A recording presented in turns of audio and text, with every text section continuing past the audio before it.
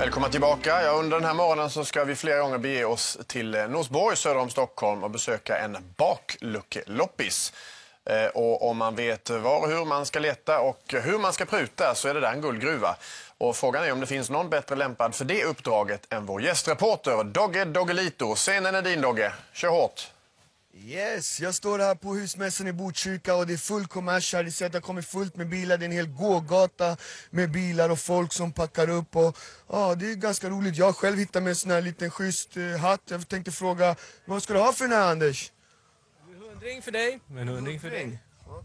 Eh, hundring. 1920-talet, 26. Ja, vem ser det då? Det är min morfars. Ja, det är morfars. Ja. Använd en gång. Men vill man sälja den då? Eller? Egentligen inte.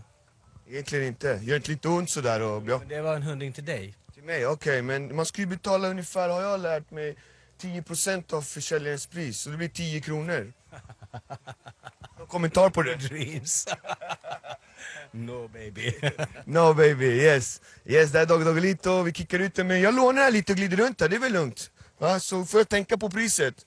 En släng för den här, en hundring för den här mössan och jag vet inte, det känns okej, jag får prova en lite, liten provtus här. Och här är ju massor med grejer alltså, det är allt alltså. Här kan man säkert hitta allt som man har letat efter eller saknat men du kommer definitivt hitta något. Hej, vad gör du här? Har du hittat något? Jajamän, jag har hittat en plastytterkruka.